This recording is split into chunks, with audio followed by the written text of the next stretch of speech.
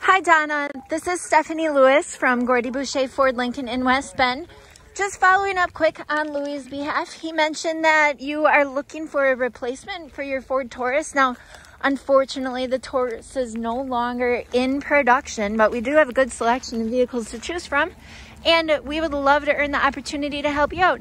Just give us a call. The number is 262 338 3379.